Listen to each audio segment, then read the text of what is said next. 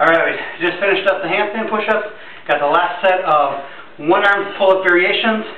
I've made it a little bit harder this time. Instead of having my arm up here, I'm pulling it more down here. Making sure that I can't grab on, so I can only use that hand minimally. So, here we go.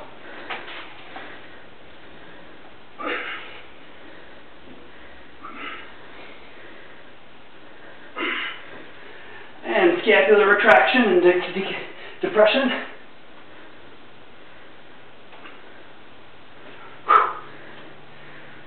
And of course, the other side.